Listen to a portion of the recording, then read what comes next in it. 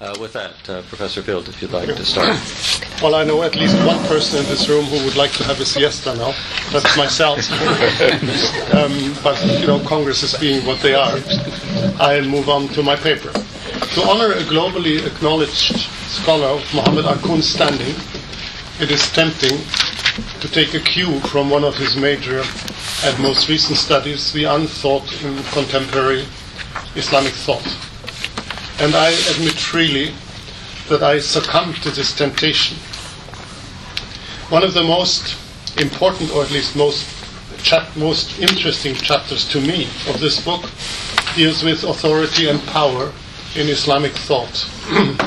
and my paper is, on the one hand, an attempt to analyze one aspect of the power structure inherent in interreligious polemics. After a few general remarks, I will deal in part one with Christian and Muslim discourses of superiority.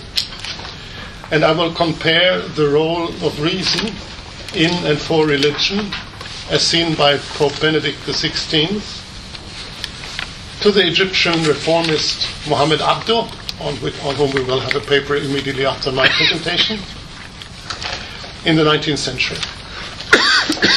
In the second part of my paper, I will attempt to point to what I think are subtle but still significant changes of attitude in interreligious dialogues between Muslims and Christians in modern times. Here we find, I think, interesting inklings of transcending the discourse of superiority and an attempt to overcome what has been called, in a debated and debatable term, exclusivism. How does the introduction of the religious other into theological discourse affect the construction of belief? There are not too many theologians, intellectuals, scholars on both sides of the Christian Muslim divide who deal with these questions. And I, it has to be admitted that the ideas and proposal, proposals that I will discuss may interest only a small minority of believers. Nevertheless, the theology of the religious other in a globalized, multicultural, and multi religious world is a fairly new concept and may offer a chance to overcome the worn out discourses of superiority. So let me start with part one Pope Benedict and Muhammad Abduh. Christianity and Islam claim to have a privileged accent, access, if not an exclusive access, to transcendental truth. Without this claim, and without the concomitant claim that this truth is of crucial importance for the well being of the individual and of his or her community in this world and in the hereafter, these religions would lose their meaning. Religious belief, as seen from the inside, is therefore to some extent irreducible and beyond comparative evaluation. Um, these religions are exclusivist. In multi religious societies, however, no religion can enforce what it considers the superior claim to truth. On the other hand, globalization spread religions across the globe, so the multi religious factor in many societies will most probably become more important.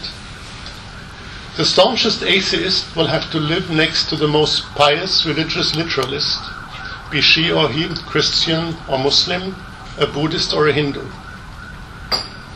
And an often overlooked aspect of religious reality is that the average individual did not and does not choose a religion, but was and is born into a religion. History and geography are in this respect often as important or even more important as theological doctrine or individual choice. Early and medieval Muslim societies enjoyed a living experience of pluralism, or plurality, which was much stronger than that in parallel Christian societies. Under Muslim rule, several communities, Jews, Christians, Zoroastrians, could exist side by side, at least in principle. They did have scriptures in different languages, which contained nevertheless similar messages. On, on, the other hand, under medieval Christian rule, the fact that Jewish scripture was also part of Christian scripture did usually nothing to alleviate the mostly deplorable reality of Jewish life under Christian rule. The interreligious competition, whose religion is true, has marked religious and social life through the ages wherever different religions came into contact. Christianity and Islam are until today caught up in such discourses of superiority and are linked or maybe even trapped in this competition. It shows itself in missionary activities, in Christian tabshir, Muslim da'wah. Both sides, true to their universalist claims, agree that giving up tabshir or giving up da'wah would betray their most cherished values. I know that there are important exceptions and notable new approach, uh, approaches on both sides. But for, for mainstream theology, mission as tabshir or, or da'wah as a principle is not negotiable. The missionary competition between Muslims and Christians in Africa, parts of Africa, is very much alive. And in Europe, where conversions between Islam and Christianity are a growing phenomenon, the competition is widely seen as an unsolved religious problem and may to a certain extent also become a legal problem. In the course of history, blood has been shed by adherents of these two religions in order to prove their point, less by the Muslim side, more on the Christian side. One cannot overlook the fact, of course, that just as much blood has been shed within Christianity, and also, maybe to a lesser extent, within Islam, to make religious truth prevail and make heresy or error disappear. And one should, of course, not forget that anti religious movements produced no fewer victims among the religious as well. That's not our topic. In Central Europe, the concept of the freedom of religion, including the right to change one's religion and to profess no religion at all, has been, by and large, I think, successfully implemented, even where there is a Christian religion of state. My impression is that in countries dominated by a Muslim majority, the issue of this type of full religious freedom is often either seen as marginal or as artificial. Muslims in diaspora, however, disagree. The most important Muslim organizations in Germany, for instance, accept the principle of full freedom of religion without reservation. Religious truth in Christianity and Islam is in any case tied up with the idea, inextricably, that there is only one true religion and that all other religions are in some sense wrong. Um, not talking on a sophisticated level of theology, uh, I think many people would say, my kids don't eat what your kids eat. My kids should not marry your kids. When I die, I'm going, hopefully, to enter paradise. You will go to hell. This is not sophisticated at all, but I think it's a prevalent paradigm with many in Muslims and Christian uh, circles.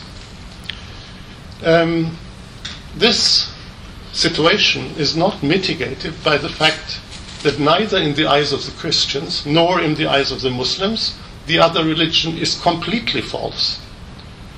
But in spite of large areas of overlapping, Christianity and Islam encapsulate a strong antithesis between false and true religion. Many Christians still fear Islam, many Muslims still fear Christianity. And my thesis is that in modern religious discourse and in its construction of belief, the opposition between a completely true and only partially false religion is gradually replaced by the opposition between a superior religion and an inferior religion. Thereby, hegemonic aspect is introduced, which tends to be superimposed on the aspect of truth. Muhammad Arkoun has already pointed out in what way what he called an Islamic reason and a Western secularized reason oppose each other, and he argued for an anti hegemonic critique of both. Um, Islam is feared in many parts of Europe because it contests the hegemony of the Christian churches and or of secularism. Christianity and secularism are feared in many parts of the Muslim world because they are seen as hegemonic doctrines.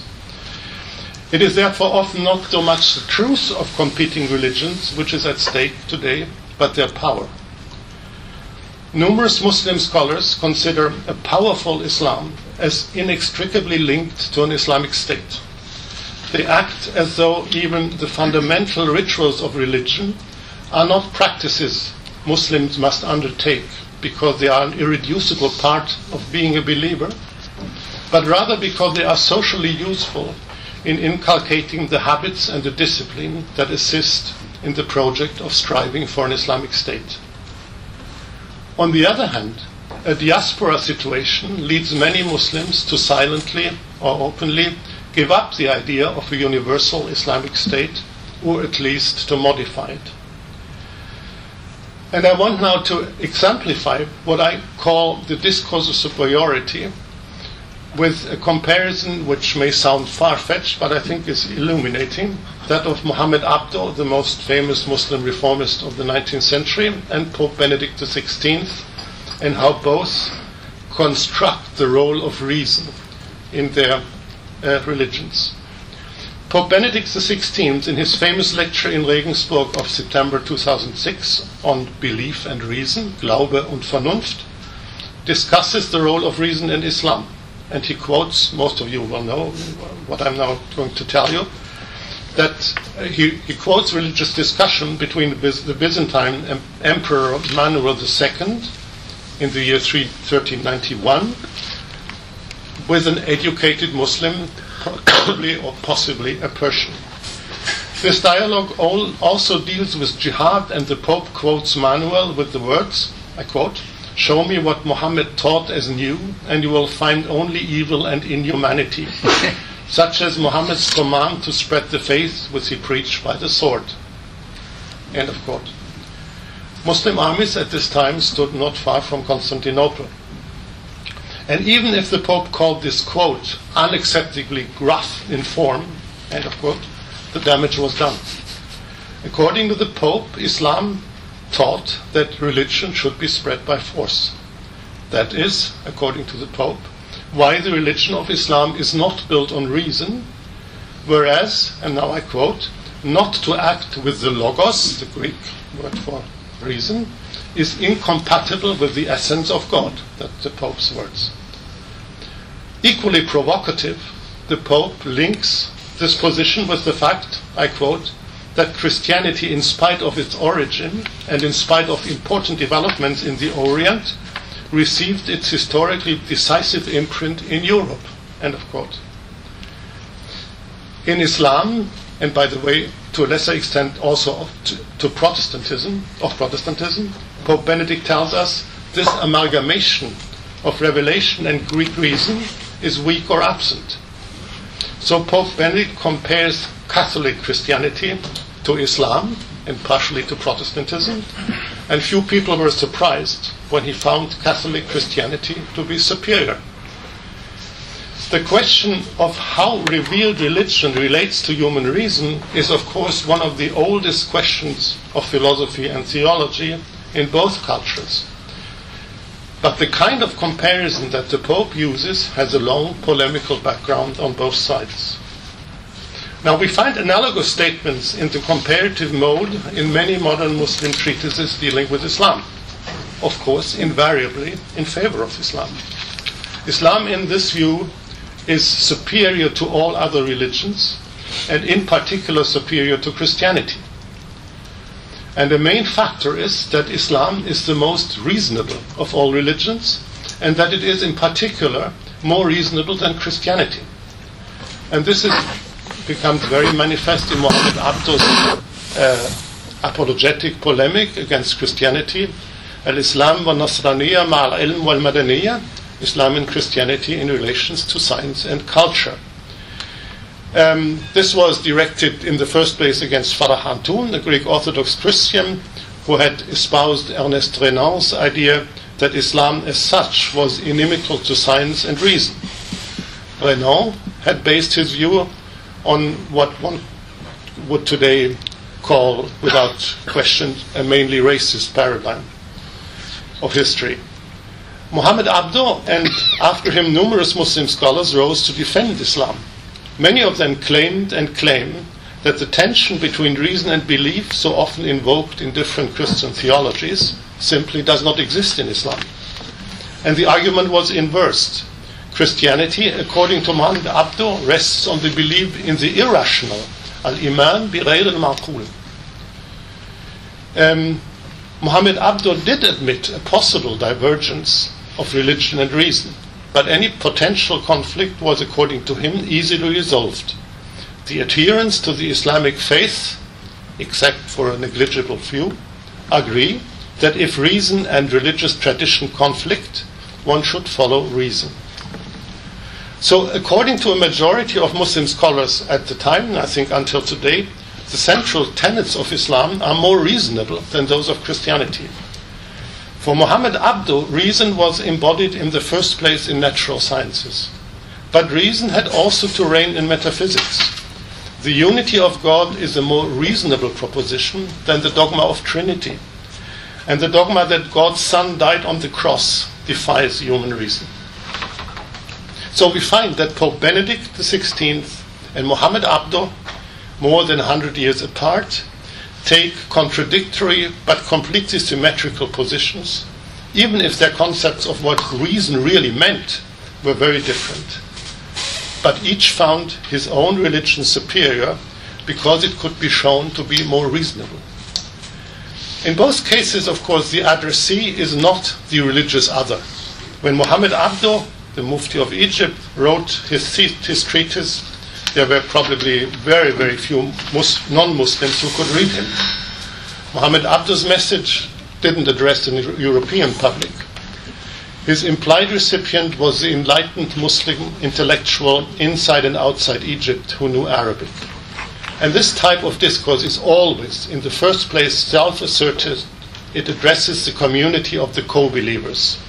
It is designed to strengthen their belief and their cohesion. And this is, in my opinion, basically also true for Pope Benedict's lecture. However, in the latter case, more than hundred years after Muhammad Abduh's death, globalism struck, and the more polemical parts of a lecture delivered in the provincial German town of Regensburg within hours reached a Muslim public worldwide. With the consequences we all know the open letter to the Pope, signed by 38 Muslim scholars, and a second letter called A Common Word Between Us and You, signed by 138 Muslim scholars, directed not only to the Pope but also to Orthodox patriarchs, archbishops, and metropolitans to Protestant and Anglican bishops, and so forth. There are numerous other discursive devices to prove religious superiority. And let me only add one other instance. Religious superiority is often invoked by claiming to have a better, that is to say, a superior idea of who or what God really is. This is often expressed in endless discussions and here I think there are mostly Christians involved, whether Muslims, Christians, and Jews believe in the same God or not. Post Holocaust Christian theology in Europe was eager to emphasize the dependence of Christianity on Judaism, the relative autarky of Jewish religion, and the privileged closeness of Christianity to Judaism. And in this vein, Felix Körner, a man who has spent years in Ankara and has written a very good book on Turkish exegesis of the Quran, um, argued that whereas Christians and Muslims cannot be said to believe in the same God, it is appropriate to say that Christian and Jews do believe in the same God. The aspect of superiority is here, I think, clearly visible. Jews and Christians have the better, the truer image of God, which they share and which Islam prevents Muslims to attain. The question of superiority also crops up when in translations of the Quran from Arabic into German, for instance, the question arises whether the Arabic word Allah should be retained in the translation or whether it should be translated by the word for God commonly used in the target language. And there is a strange dialectic here. Muslim translators often assert that only the Arabic word Allah conveys the full range of the Muslim concept of divinity, and therefore it should be retained, even in an otherwise translated text. The word Allah is in some, in some ways better than the word for God in any other language. Now, non Muslim translators, on the other hand, may also leave the Arabic word Allah in a non Arabic context, but their motive may be completely different. They create an interreligious distance which infringes on the universal concept of divinity. And by leaving the Arabic word Allah in the translated text, they subtly imply that Allah is a mainly Arab God. Um, I move on to part two, um, which I've called Beyond Superiority and Beyond Exclusivism, the theological other. That's, of course, a, a, a theological term which I don't think would have been understood a hundred years ago. Theological other. It's a very modern word.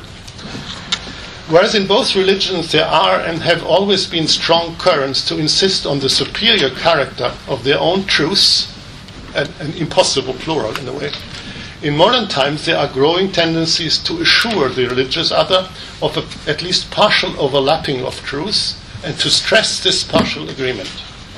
This also has a dialectic of its own. It is often admitted that the teachings of the other religion, the wrong one, are not completely false, especially if interpreted in the light of the tenet of the religion of the speaker. This works often in a retroactive way. Christianity could not but accept parts of Judaism. Islam could not but share some of the tenets, rules, and doctrines with Judaism and Christianity. But Christianity for a long time accepted Jewish scripture only if it was interpreted in a Christological way. In a similar way, many contemporary Muslim religious scholars judge the validity of Christian and Jewish scripture by the measure, by the measure of their compatibility with Quran and Hadith. The official emphasis on a partial agreement usually serves a dialogical aim. And a good example is the Abrahamic tradition.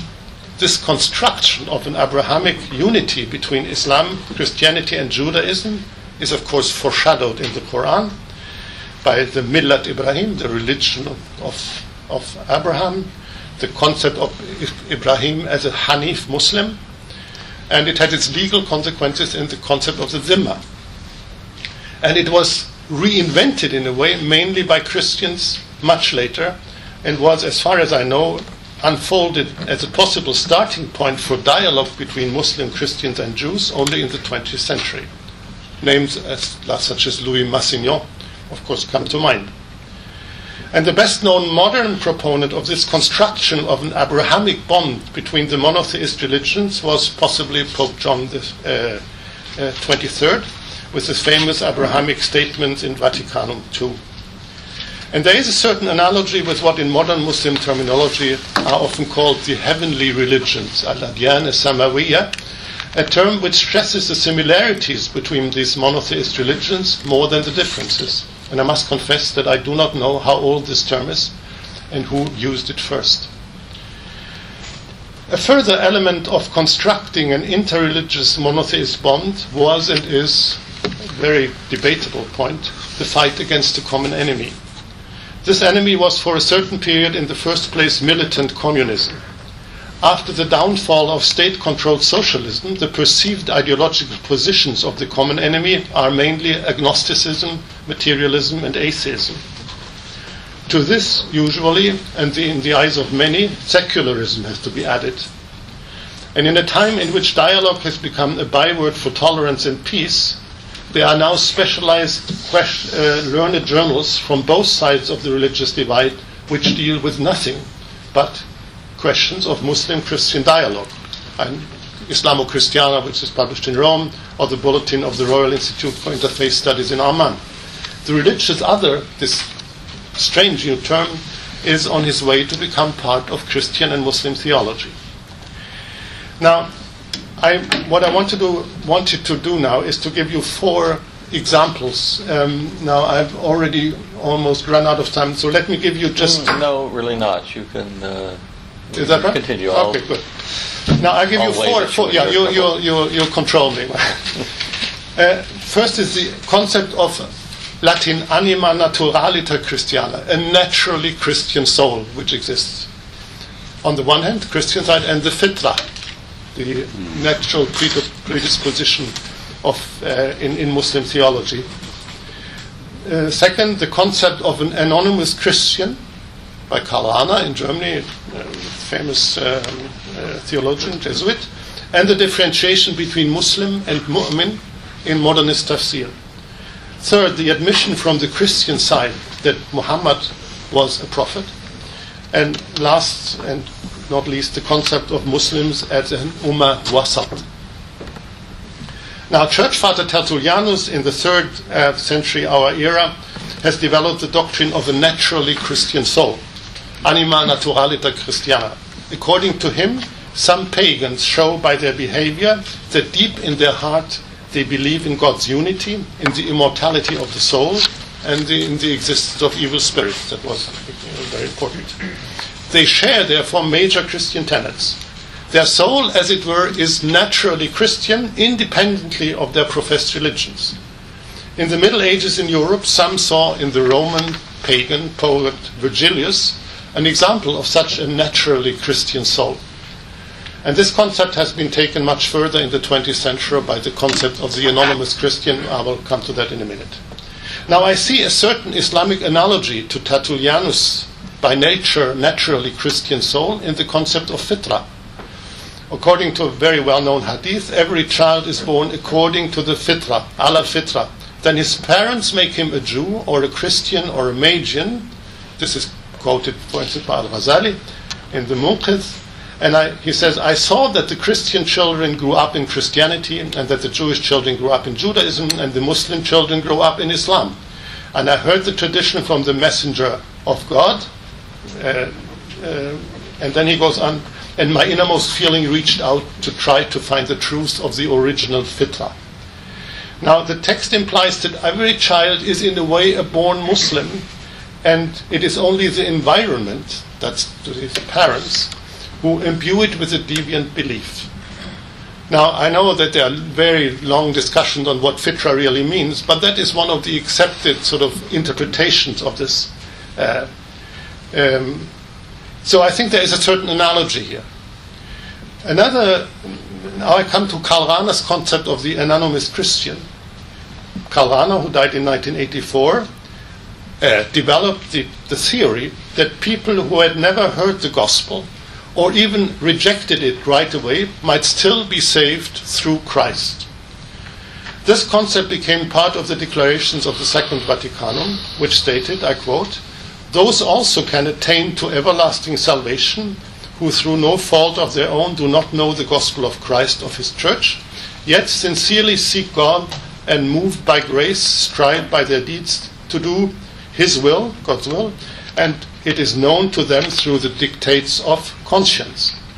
Now, this inclusivism is pr- at present a very popular stance in interreligious positions, for instance, in Germany. Non Christians can have the salvific grace of God through Christ, although they may never heard of Christian revelation. Now, this doctrine came under fire from two directions in the Catholic community. There was first the traditional Catholic view protesting that biblical Christianity is true and other religions are not. But some Catholics group after some Catholic groups after the Second Vaticanum even separated from the Catholic Church. There was a schism, and one of the reasons was this very inclusivism. There was, on the other hand, the liberal voice, which found this idea paternalistic in the extreme. Hans Küng, known to most of you, I think, stated, I quote, it would be impossible to find anywhere in the world a sincere Jew, Muslim, or atheist who would not regard the assertion that he is an anonymous Christian as presumptuous. And John Hicks, famous in the field, agreed with him by criticizing the same paternalistic notion of anonymous Christians because he said it is an honorary status granted unilaterally to people who have not expressed any desire for it. Well, he has a point there. Now, I think very comparable is what Muhammad Shahrur in his book Al Islam wal Iman, um, famous in the eyes of some Muslim authors, notorious in the eyes of others, developed. I think it's a very similar idea to Karl concept. He distinguishes between Islam and Iman, between Muslim and Mu'min. And his main thesis is that he vigorously contests the widely accepted approximate equation the word Islam in the Quranic text more or less equals Iman. For Muhammad Shahrur, Islam designates only the universal religion of mankind in which Muslims, Christians, Jews, all religions of peoples of good faith are united. All mankind of goodwill is Muslim. So it's the exact symmetrical position with Karl Rahner's position. Um, a human, um, the, this uh, all sorry, all mankind of goodwill is Muslim. All men are members of this all-embracing one deen, which is called Islam. The construction of the anonymous Christian is therefore quite parallel to this. Um, you can be a Muslim without really being aware of it. Now, Shahrur doesn't speak of the anonymous Muslim. he could, but he doesn't. The reasoning behind both concepts is similar. And I come back to what I said uh, a minute ago. Christians usually limit paradise to Christians only. All others will have to go to hell. In the same way, most Muslims confine paradise to their own religion, while all, all, others are condemned to hell. That's what Mahmoud Shahrur expounds. And Shahrur reads the Quranic text in a different way. In reality, all people of goodwill who follow their natural universally religion, universal religion, which is Islam, have to be called Muslims and therefore can enter paradise. What people call Islam today should be, according to Shahrur's understanding of the text, be called Iman. The pillars of Islam should be called the pillars of Iman. And the, the man who is, you know, in our usual, usual terminology, a Muslim should be called a mu'min.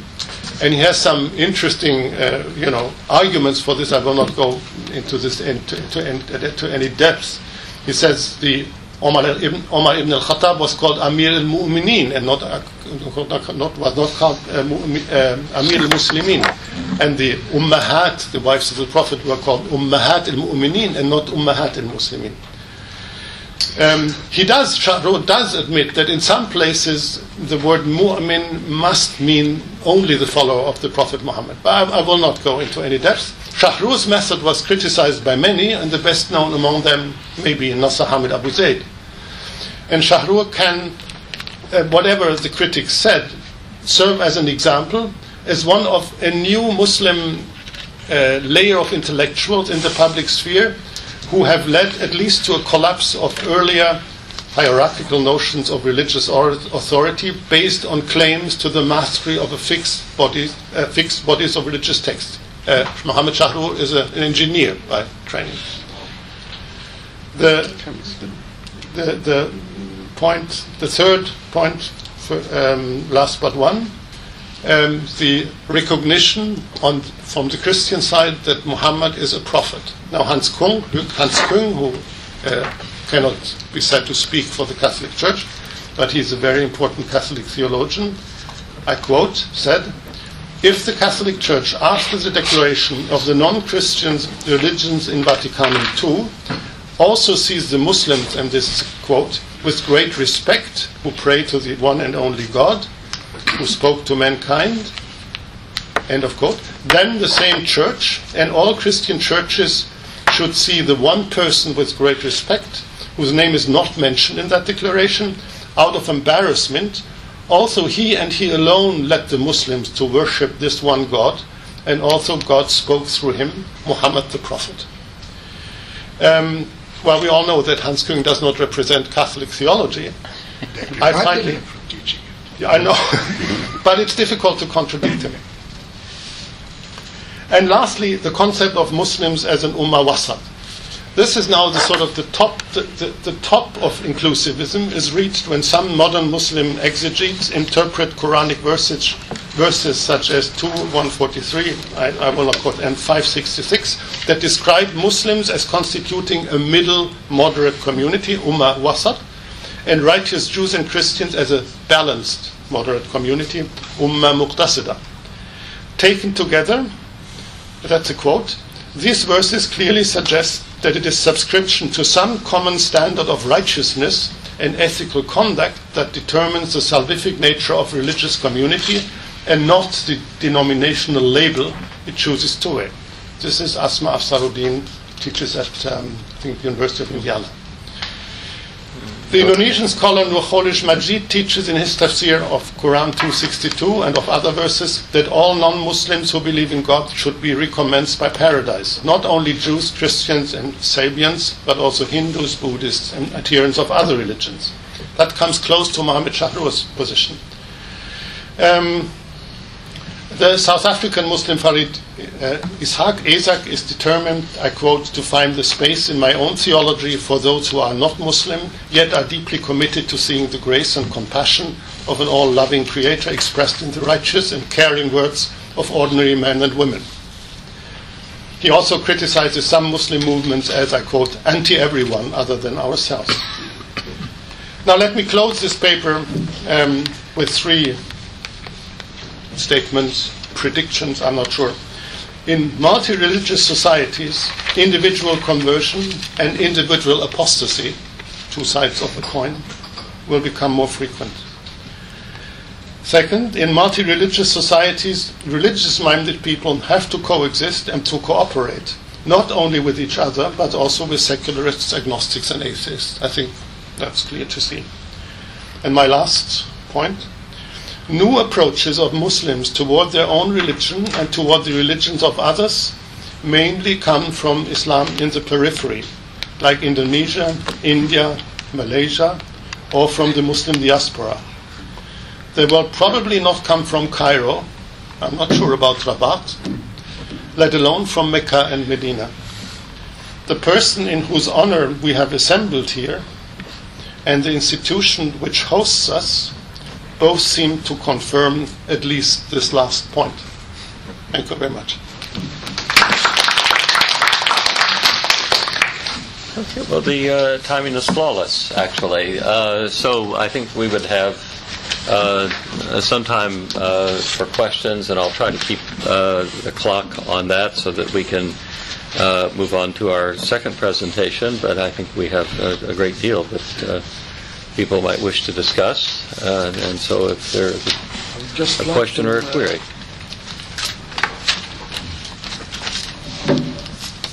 would like to inquire of him about something. Yeah. Right? Um, now, you mentioned many. Too many men. On, on the side of Christianity as well as on the side of Islam who claim superiority for their religion. Now, I would like to believe that these are reasonable people. At least they meet the minimum requirement of rationality. Doesn't any doesn't it occur to any of them? And they're writing, to say, this is a double-edged sword argument. So I, I claim superiority for my religion, on what ground am I? That my religion was revealed but theirs wasn't? But the other can make the same claim. Doesn't it occur to any of these people who meet the minimum requirements of rationality? They don't have to be above the minimum. Doesn't it occur to any one of them to say, you know, this is a double-edged sword argument. If I can make that claim, he can equally make that claim. The other can equally make that claim. And so here we need independent reasons for saying that mine is superior. I mean, if your if your reason is merely your faith that this was revealed, but the religion of the other wasn't. But the other can make the same claim. Does, I mean, doesn't it occur to any of them? An- Another, another, another uh, simple remark. Muhammad Abduh said that the crucifixion was a paradigm of unreasonableness. Is that you No, got no, it? I, I didn't say this. I, I, Oh. He may have claimed it, but I didn't say that. Yeah. If the Yeah, crucifixion, yes, the, yes, yeah, yes, yes. If the Christ, that's crucifixion- on the cross. Yeah, right. if the crucifixion was unreasonable, then the story of the Quran is reasonable. That God made a replica. Yeah. That was the first act of cloning in history. yeah. I mean, did it occur to him to say, you know, the crucifixion is an historical event. You know, it could be true. Yeah. But the other story, the other story is the paradigm of unreasonableness. Did it occur to him? No. Well, why don't we uh, why don't we let uh, Professor Wild uh, respond? Well, of course, I don't know what Muhammad Abduh thought. I, I, um, I like to, to answer, you, I like to quote Rahner because I think it's exactly, you have hit a very important point. Um, Karl when he developed this very sort of inclusivist theory, which, is- which looks very inclusivist, of the anonymous Christian, he said, um, um, let us say a Buddhist monk, because he follows his conscience, attains salvation and lives in the grace of God. Of him, I must say that he is an anonymous Christian. If not, I would have to presuppose that there is a genuine path to salvation that really attains that goal, but that simply has nothing to do with Jesus Christ. This is the sort of rock bottom. He cannot, he cannot overcome this theological last sort of resort. And that's why he has to construct this idea of an anonymous Christian. And I think um, this is uh, theology, Christian theology, Muslim theology, often runs into these things that.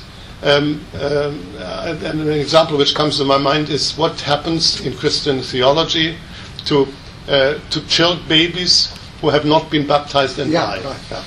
So they said it's inconceivable that God condemns them to hell.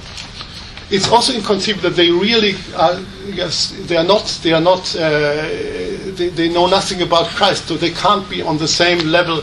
So they constructed purgatory, heaven, and paradise, a fourth uh, theological locus where these uh, children were, the limbo. This is the way theology works. And um, uh, I think um, as long as the, as the exclusive truth only uh, religions adhere to the, to the concept of an exclusive truth, which in some way they have, we will have to, uh, to accept that. Religions are built that way. Maybe in a thousand years they will be different. But as for now, um, we, we come to these rock bottom things where theology says, now that is the bottom. And of course, this bottom changes. It's not uh, something which is, uh, you know, uh, which is unchangeable. But it changes slowly. Uh, and what Muhammad Abdul really thought, I don't know, maybe you know much. Well, Okay. actually, I, I think we are going to I'm, I'm on, to I'm a on the remark. list as the next one. I'll, t- I'll tell you what I think Mohammed Abdul really thought, but before that, I'd just like to, to respond to your to the first point you raised. Um, I think I think that this is the central problem, and uh, part of the central problem is that the world looks differently to a believer and to a philosopher. For a philosopher, it's a double edged weapon. To a believer, it may be a double edged weapon, but I am holding the hilt of this double edged weapon. And the difference is that, you know, the other person might say that they have a superior truth claim. They might say all sorts of nonsense, right? But the fact is that they don't. Yeah? No, I mean, I think, I think that for Muhammad Abdul, um, he he he was following in a long European tradition in seeing the crucifixion as ridiculous, and um, I, I don't I, I haven't really been able to find out as much as this about this as I would like to, but he was in contact with this tradition quite possibly. Um, because when he was in Paris, there's a report of him uh, being found with some members of the Theosophical Society. And one can trace the Theosophical Society back to deism and the whole concept of the rational religion. Now, if you, if you have got this concept of the rational religion, then uh, a lot of Christianity is highly problematic. Um, and it, it's, it, Islam is much easier to fit with this concept of the rational religion. So that's my guess uh, about what Muhammad Abdul actually thought. Let's see, I'm uh, yes, I think, and then please go ahead. I, I would also like to respond to the uh, comment that was made earlier. I think there are two strategies that are adopted by people who claim superiority, um, which perhaps um, respond to the query that was raised. It's often not simply that my religion is revealed, your is not, but they actually create an independent criteria, and I deliberately use the word create, and then try to show that their religion meets that criteria better than the other religion. So, for example, in the current economic crisis, many Muslims have written that Islamic economics would have allowed world not to go into it. So they look at economic system, do not compare it with Christianity, but the economic system, and say the economic system based on their religion was superior, would have responded to the issue. Another strategy is science, to take science as an independent criteria, and then argue that their religion and their book is more scientific than the other book. So often it's not just between the two religions, but in a way to convince the followers of their own religion, the creators, and uh, what one could uh, call an independent criteria, and try to respond to it. The second thing is that I think this kind of discourse has a function. What it does is, in a way, helps reinterpret the religion to respond to contemporary challenges. So when Muhammad Abduh is trying to argue, and he says at one point that uh, religion is a friend of science, in a way he is reinterpreting the tradition to make it acceptable to the younger generation of his time. And that's where the power, I think, of this discourse comes, that it helps this psychological, uh, it gives the psychological comfort that they are both following the tradition as well as living in modern times. Um, and uh, that perhaps is why it survives. Would you? Uh, Yeah, yes. well, maybe. Um, well, it's what I would like to say comes uh, well close to what Farid is mentioning, but from another angle. It's uh, something that we we we mentioned this morning about the, its translata- translatability, because you made you gave us a list of of terms, and for which you said there were equivalents in the other tradition, fitra. And I have never heard of the Christian Anonymous Christian. yes, and so so here again, uh, I think we are facing a dilemma. Either we reject translation totally, and then we are forced into taking each tradition as a kind of island, tot- totally isolated from the others. Completely, we are in full, fully in culturalism. We going for translatability and uh, finding equivalents. The, surely that those terms have some family resemblance, if I can say. There is something common there, but it's not exactly. I mean, is so complex and so on. So here, I think we are facing, and maybe one way of getting of facing this dilemma is not to ask whether we should go for translation or not, is to look at what, what was the exercise, what was what people were wanting to do through this exercise, what Muhammad Abduh was wanting to do through saying that uh, religion and science are, are friends or are close to each other. He wanted to convince his people, his fellow Muslims and so on, that science is not something to, to be seen as, as a foreign and to be rejected and so on. So uh, here, well, I was interested by this list of, uh, of this dictionary or beginning of a, of a dictionary of terms. It may be a good exercise to, uh, to, to maybe to look after or to to inquire into the peculiarities of each concept by making it uh, a kind of uh, counterpart of trying to find counterparts in other traditions. But there are, uh, I think, there are serious obstacles there if we want to push things too much, unless we settle down for what uh, would be a Wittgensteinian exercise to see what language game is, is going on there. Well, I, I agree that is extremely dangerous to, you know, just juxtapose. Uh, I agree completely. Um, and that's why I'm on my la- in my last sentence I said uh, my hope for, you know, changes in the paradigm rests mainly on the diaspora. Because there, Muslims and non-Muslims, Christians, in, in their various ways, are forced to come to terms with certain developments which maybe Muslims in, in other situations do not have to face. And that's there must be solution. There, the, you some of you may have heard of the fiqh al-aqalliyat, mm. which is a new, in, fairly new phenomenon, fiqh, being adjusted to new situations. Um, uh, so uh, I think, and that's one of the points where I disagree with uh, with our teacher, that I think this is mainly a Muslim obligation. It cannot be done by non-Muslim. You, I, will- I know you will contradict me.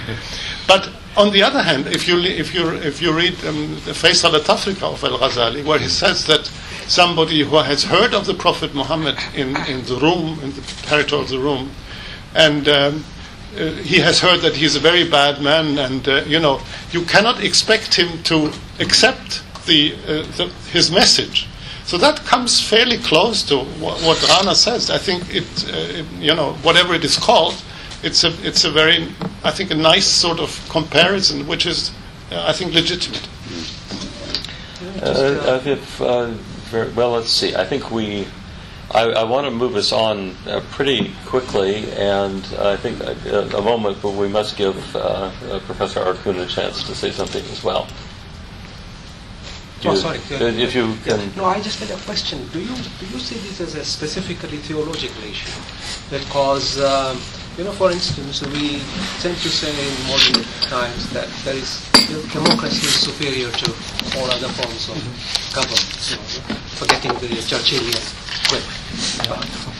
Um, and then there is a move to say that there are forms of democracy which are more suited to particular cultures, although not ideal in the in the sense that you know the, the Western democracy has reached. Uh, but one must make some allowance for these local variations. And one may perhaps in a little bit of uh, um, violence uh, see this uh, Mumin, uh, Iman, Islam dichotomy or, or uh, continuum that uh, Shahrur um, uses in, let's say, in uh, China, where they say there is a there is democracy in general, but then there is the Chinese style of democracy, which is uh, more or less like a Shahrur's Iman, uh, as opposed to. I mean, I'm, I'm being only slightly. Uh, yeah, I mean, it's, it's half jocular about it, but there is the, the, the question is: Is this specifically a religious issue? Uh, uh, is this specifically a religious phenomenon, rather, to think in these terms? I'm not sure I understand you. I mean, in in Shahrur's term, it's of course it's religious. No, no, no, I mean, you, you, you have presented this Yeah, uh, yeah. as, as uh, something that happens within theology. Yeah. My question is that is it peculiarly theological or is it Oh. a more general phenomenon and where is it best analyzed? Is it analyzed in the study of theology or is it better analyzed in uh, a wider framework? Yeah. That's my question. Yeah. Well, I'm not sure whether I can really answer that. I, I only can say it is uh, portrayed as something which crops up in exegesis of the Quran. So, in that sense, it's tafsir, and in that sense, it's theology.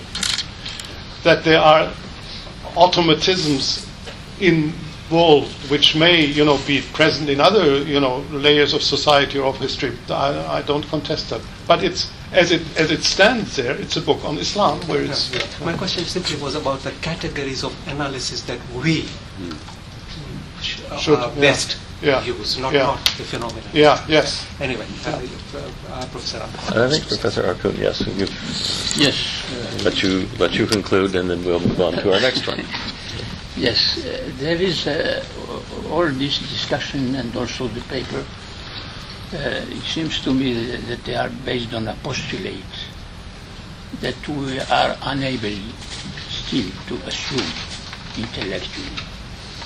The postulate that all these actors who have their theory, their position, etc., the Pope, uh, Abduh, and we postulate that they are using reason, and that this reason is in every discourse, whether it is religion, religious, whether it is historical, whether it is theological, and this postulate, eh, it doesn't work. We cannot work with such a postulate, and even in our discussion, we admit that, that postulate that they are all speaking in the name of reason, which is not true. There is a discourse built on the imaginary. Imaginary in English doesn't work general. Imaginaire. L'imaginaire social. L'imaginaire religieux. It preempts what we call reason.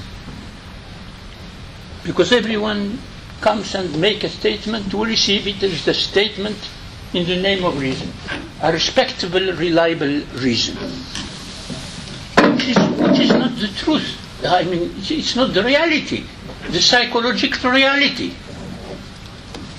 We have emotions.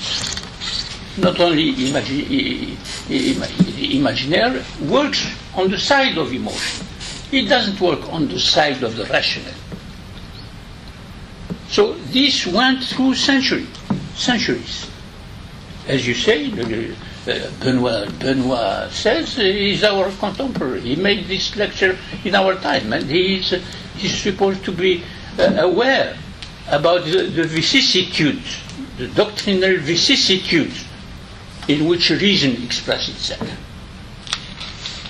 So it is very difficult to identify the role, the real role of what we call reason. Because there are many vicissitudes, many circumstances which make reason in a status which is much down, down to the role, the real role which is played by the imaginaire and which is played with, with the emotions. In our time, the majority of discourses, even in, in the West, are dominated by emotion. We have a book just published recently in France uh, by uh, Dominique Moïsi. It is called The Geopolitics of Emotion. Yes, great concept. Because it delivers us from the postulate that we are all speaking in the name, uh, uh, in the name of reason. And that reason is autonomous, is free. It is dominating. It, uh, uh, it tells to uh, imagine, shut up, it's, uh, it's me who who have the floor. Always. This is not true. I mean, true in terms of what is done, what we do really, even among the, in, our, in, our, in our group. The other side, the, the other thing is that, uh, as you know, I insist since many years now on two couples of concepts the thinkable and the unthinkable. This is one couple. And the unthought of and the thought of.